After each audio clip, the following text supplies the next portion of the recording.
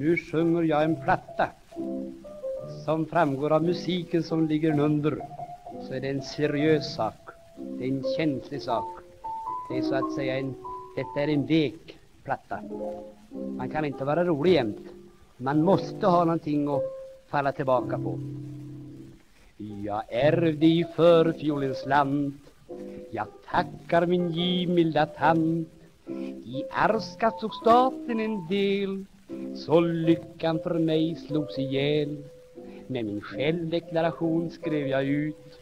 Så heden den tog nästan slut. Men mitt samvete har jag ändå Att falla tillbaka på. Har ni hört en sån gliring åt samhället när jag säger det? Att mitt samvete har jag ändå att falla tillbaka på. Det är en ren elakhet emot det nuvarande samhällsskicket. Jag förde mig som en ranché men stadsfogden fick jag dock se. För mig var det ganska fatalt Ty boet var inte betalt. Men fogden försvann när jag sa En soffa, den kan du ej ta för vårt lösare köp att gå Att falla tillbaka på. Saken är den att jag köpt mina möbler på avbetalning Så gubben kunde inte ta min pinnsoffa. Fick han inte röra på. Han fick problem att sätta sig på någon stol. Om man hade någon stol, det vet inte jag. Nu kommer en annan vers här. Det är en så att säga en mera monarkistiskt betonad vers. Det blir så här.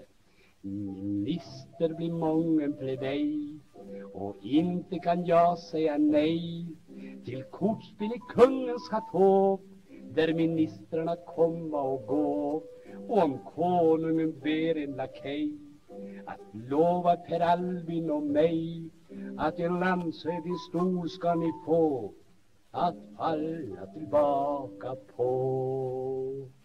Det var så att säga en ren politisk sak detta också som hörs av musiken som fortfarande ligger under.